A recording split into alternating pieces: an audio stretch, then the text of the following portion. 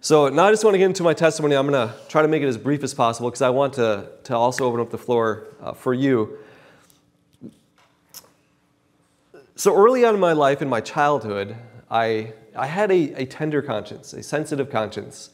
I, I uh, remember uh, a time where I was at a camp meeting in, in Wisconsin, and my, my mom told me to come right back to the, the campsite after the meeting. And so I, after the meeting, I started heading back to the campsite. But then people were having a water balloon fight. So, guess what? I joined them. And I got wet, obviously.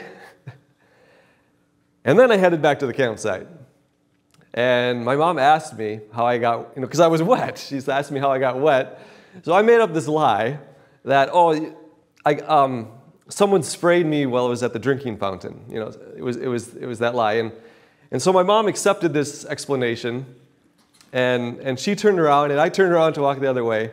And immediately my conscience smote me. Immediately. I, I, and I just, I remember I burst out in tears and I confessed that, you know, I had taken part in this water balloon fight. I, I couldn't for a moment live with a guilty conscience. It just, and uh, later on, um, my brothers and, and my uncle, we,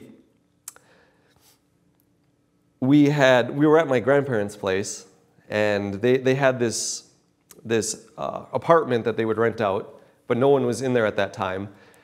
And so we had went down there and we were watching movies, which we were not supposed to be doing.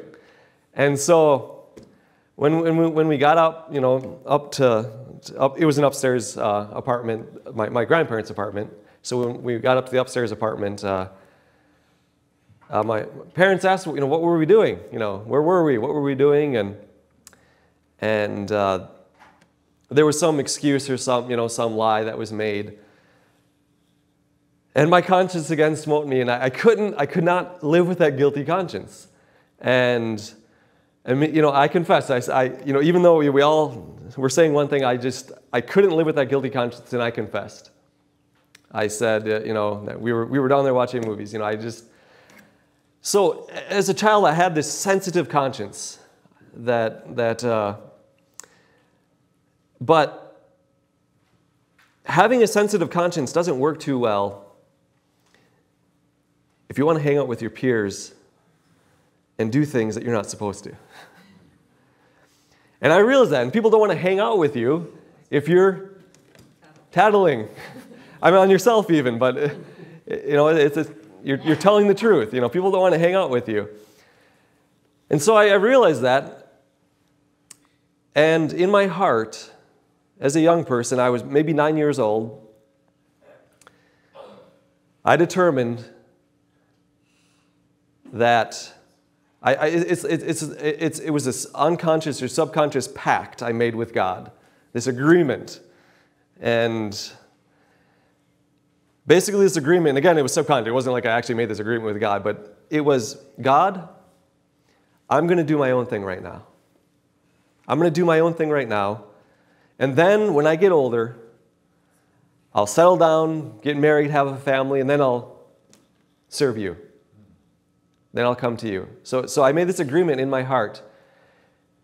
And from that time, and again, I don't know exactly what day that was or whatever. It wasn't an actual, like, this verbal agreement, but it was more of a, this is, this, this, this is how, how I was feeling or whatever. But um, my conscience no longer bothered me.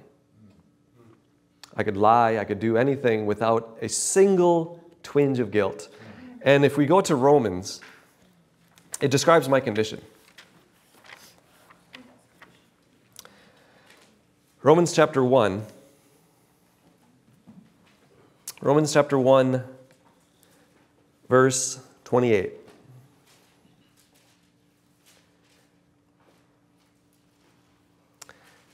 The Bible says, and even as they did not like to retain God in their knowledge, and that was my condition. I didn't want to think about God because when I thought about God, I couldn't do the things I wanted to do.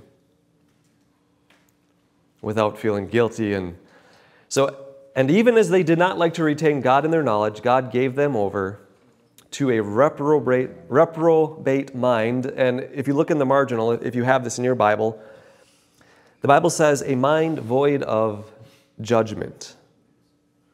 A mind void of judgment. So God gave them over to a mind void of judgment, discernment, a lack of discernment, to do those things which are not convenient. And that was my condition for about 10 years, where my conscience was silenced, just totally silent. I, I never felt guilty. Um, except for one point, at one point. And it was, and as I think about this, it was actually about the halfway point, about five years into that, that 10 year period. I was at the academy, Wisconsin Academy, and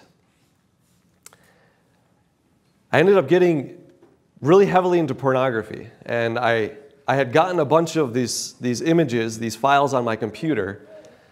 And I think I had, I don't know, 600 megabytes or gigabyte, but back then that was a huge amount of, of, of data. Uh, and you know, I'd gotten it, you know, from different friends or whatever and had this all downloaded onto my computer. And then there was a week of prayer, and they were talking about purity. And all of a sudden, that conscience that had been dead for five years just awoke. And I was squirming in my seat. I knew I was in sin. I knew I was guilty before God. And I remember after that meeting, I walked into my room. I went to the computer. I clicked on that folder and I clicked delete. I wish that was the happy ending. At that point, though, my friends had come into the room and they saw what I was doing and they said, What are you doing? And so I made it into a joke that, oh, haha, you know, because of the meetings, deleting this. And then I went to the recycle bin and restored it. And my conscience was again dead for five more years. So this was in uh, 2021. No, I'm sorry, 2001. 2001. 2001, okay. 2001. Um, I was going to Andrews, Andrews University at this time. and at this point, um, I was uh, into smoking marijuana. And we, I was, we went out with some friends and we were smoking marijuana. And these, these two friends, they were actually, they were twins. They liked to really talk about, you know, Bible prophecy and things like that, you know, and, and I, and I remember as, as we were sitting there smoking marijuana, we were sitting, it was, it was nighttime in the dark uh, at a kind of a park boat landing area, looking up into the heavens. And one of them said something about Jesus coming, you know, Jesus' second coming. And uh, I remember I remember all of a sudden all of those childhood feelings, those good feelings, those desires for heaven just welled up in me. And it was a sense of, you know, that's where I want to be. I, you know, and so anyhow, that, that day passes. I, it might have been a month later. Um, I just, it was, I had just come, it was a Sabbath day. I had just come back from my room, um, from smoking marijuana with some friends, and came back to my dorm room. And my roommate was gone that weekend, so I was alone. And when I came back into that dorm room, as I walked into the room, this thought came to me, and, and I know it was from the Lord, because it wasn't my thought. I said, You know, it's the Sabbath, I should read my Bible. I had never in my life, and here I was 19 years old, I had never in my life opened up the Bible to read it for myself outside of maybe an assignment for class. I had never opened up the Bible to read it for myself. So, where this thought came from, it's, it's from the Lord. You and, I, and those were the, the, immediately, it was, you know, it's the Sabbath. I should read my Bible. Where that came from, you know, it's, it did not come from me. And so I remember, I remember this perfectly. Just, I sat down on the floor with my Bible. I had my back against uh, these built-in desks, uh, you know, on the wall. Put my back, you know, leaned up against there. I opened my Bible, and I opened up to the story of of the children of Israel crossing the Red Sea. And I'm reading the story how God parts the waters, how the children of Israel make it across. And then the Pharaoh's army comes after them. They go through the Red Sea after them. And then I read, it says, And the Lord removed the wheels of their chariot so that they drove them heavily. And I'm like, What? God took the wheels off the chariots? I don't remember that part of the story. I've heard these stories my entire life. You know, I grew up in an Adventist home. I, I've never heard that part of the story. I wonder what else they haven't told me. and that was the thought that came to me. I was like, wow, I was amazed. I mean, I was like, what else? Did they think I wouldn't believe that part? I, I don't know. It's just, I had never heard that part of the story. And it, again, it, it woke in this desire to know more of God's word. Like, what don't I know? you know, is there more? But even yet, the Lord, the Lord um, was working on me. I want to read a quote here from Steps to Christ. And it's interesting because this chapter is called the, the Test of Discipleship. She starts the chapter with 2 Corinthians 5:17. If any man be in Christ, he is a new creature. Old things are passed away. Behold, all things are become new. She says a person may not be able to tell the exact time or place or trace all the chain of circumstances in the process of conversion, but this does not prove him to be unconverted. Christ said to Nicodemus, The wind bloweth where it listeth, and thou hearest the sound thereof but canst not tell whence it cometh and whither it goeth. So everyone that is born of the Spirit. John 3 8. Like the wind, which is invisible, yet the effects of which are plainly seen and felt, is the Spirit of God in its work upon the human heart. That regenerating power which no human eye can see begets a new life in the soul. It creates a new being in the image of God. While the work of the Spirit is silent and imperceptible, its effects are manifest. If the heart has been renewed by the Spirit of God, the life will bear witness to the fact. Well, we cannot do anything to change our hearts or to bring ourselves into harmony with God. Well, we must not trust at all to ourselves or our good works. Our lives will reveal whether the grace of God is dwelling in us. A change will be seen in the character, the habits, the pursuits. The contrast will be clear and decided between what they have been and what they are. The character is not revealed by the occasional good deeds and occasional misdeeds, but by the tendency of the habitual words and acts. God's Spirit was at work with me at that point when I didn't even know it. He was working in me, moving me toward a direction. And remember, we talked about the sanctuary and, and moving that God is moving his people toward a direction. So individually, God was working on me, moving me toward a direction. So this was, and I remember the date exactly, it was 420. Uh, it's, a, it's significant uh, with the uh, you know marijuana smoking community. This idea, hey, let's meet at 420 um, to go, go smoke. So April 20 is, is like the International Pot Smoking Day. That's why I remember the date.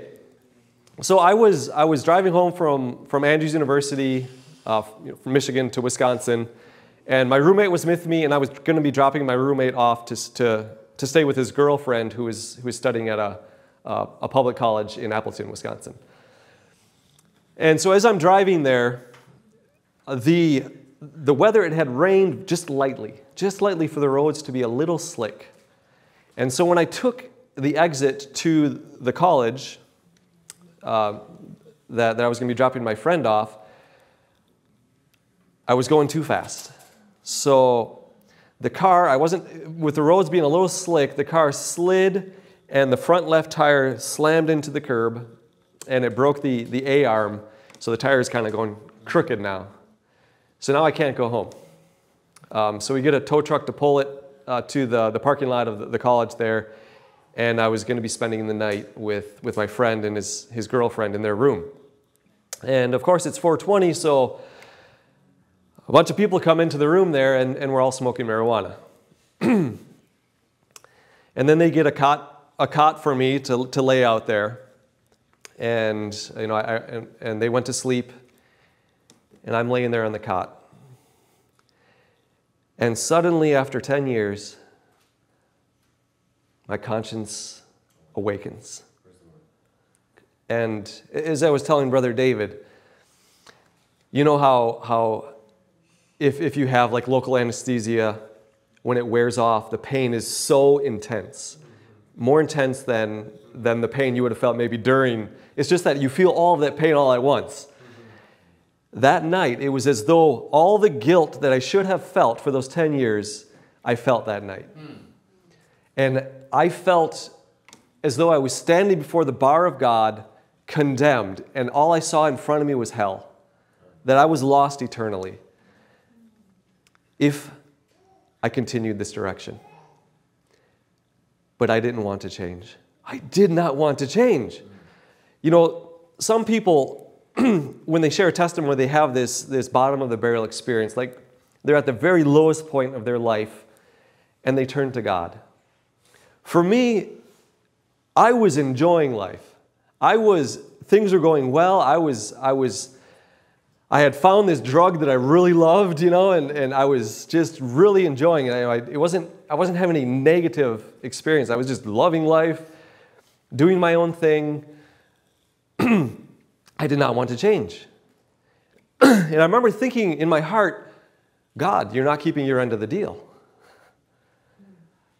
I was supposed to do my own thing until I get older. I'm only 19, you know. until I get older, and then I'm going to serve you.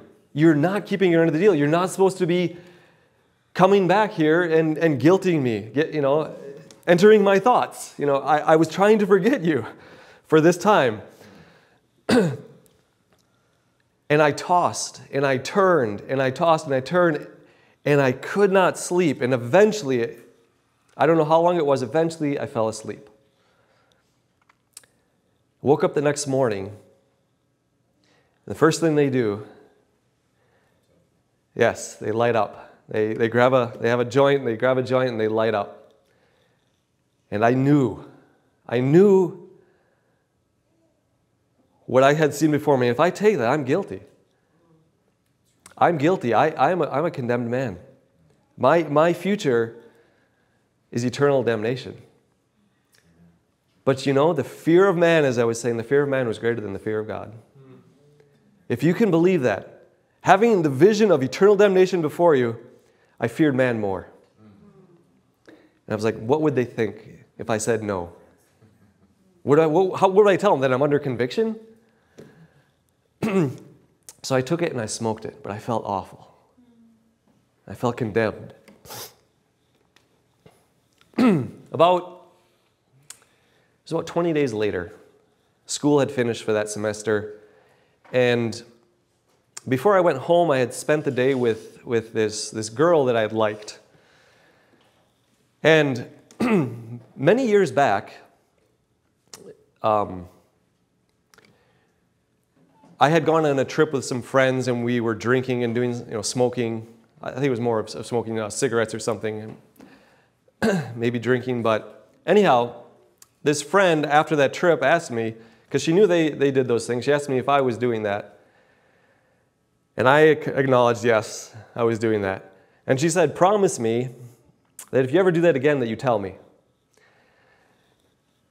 And, you know, I, I always keep a promise for some reason, you know. Uh, and so, so here it was. oh, yeah, I, I, should, I should qualify that. I'll keep a promise, but I, I remember thinking, well, I never told her when I would tell her. so so, anyhow, this was several years after that. Excuse me.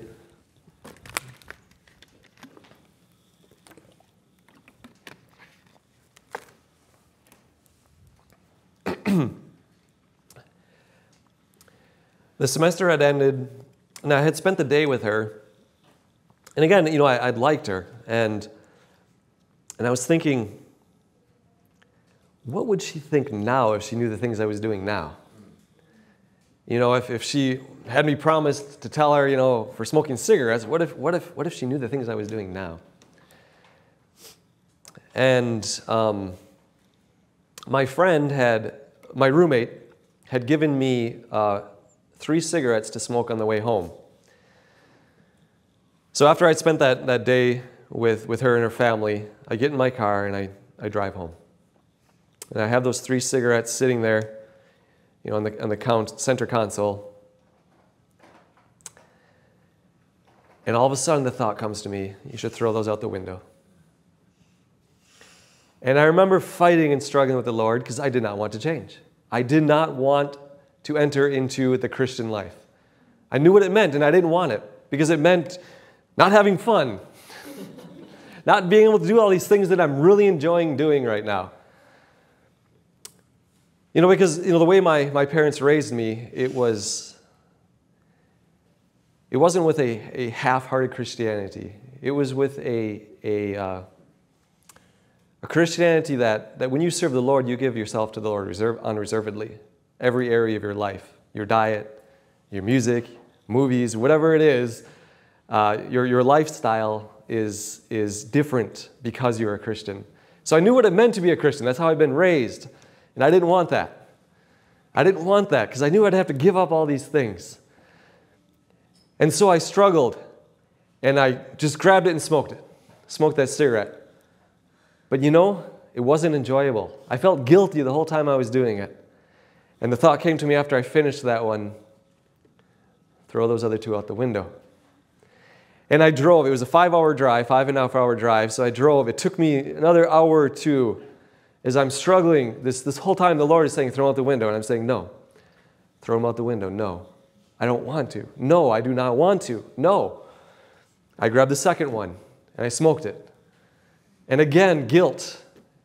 Guilt is what I felt.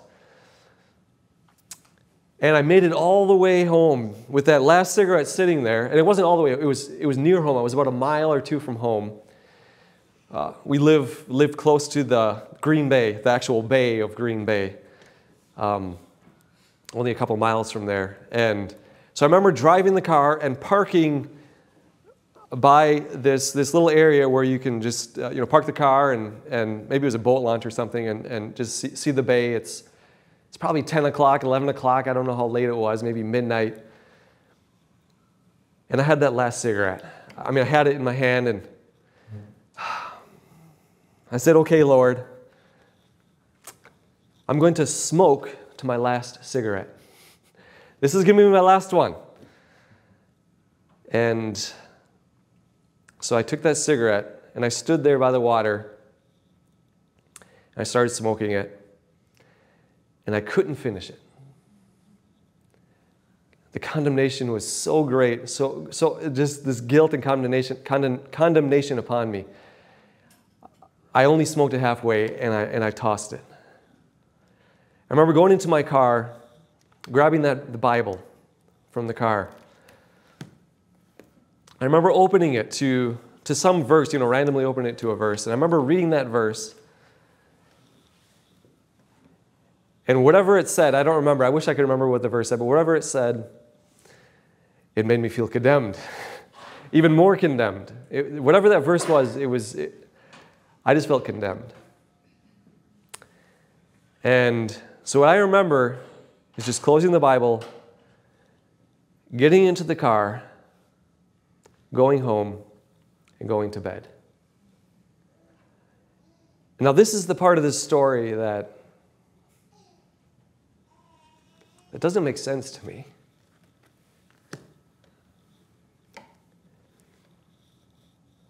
But it shows the goodness of God because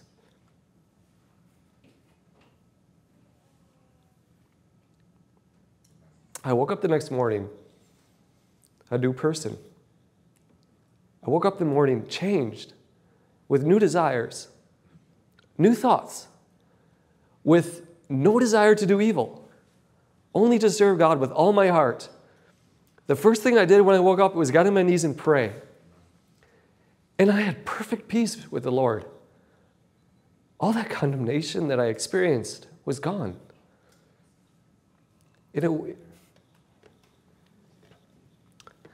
it wasn't anything I did because I woke up that way. The prior night, I didn't want to change. There was no indication that I wanted to change. So God did something for me that I wasn't willing to do for myself. My, my thoughts, my, my purposes, my desires were totally sold out to Christ. And I don't get that. It, it does not make sense to me. It doesn't make sense to me at all. I don't, I don't deserve it. And I was 19 years old. And there's another part to this testimony. I, you know, I wish it ended there on the happy note, but, but there's another part which even shows more of the glory of God, but that's going to be for another time. And it's not to say that I have not backslidden during this, this past, uh, I guess it's been 24 years roughly. But my heart has always been turned toward the Lord. That I've never, the desire to enter back into Satan's kingdom, though the temptations have been there. God has always put that in my heart. And, and, and again, I, I, I can't explain it. There was, it, it's like what, what we read of the spirit of prophecy. The spirit of God was working in me. The, that wind was blowing. I didn't make this conscious decision to follow the Lord. He did it for me. And I, and I don't get it. I don't get it, but I just want to open this floor now for, for you to, to share your testimony of how the Lord has been good to you. Uh, something perhaps maybe you've heard this weekend, something that, that the Lord has, has, has convicted you upon or, or inspired you with, or even to uh, offer you know, an offering of thanksgiving or, or you know, whatever it may be to, for the Lord. So I want to open the floor now to, to allow you to share.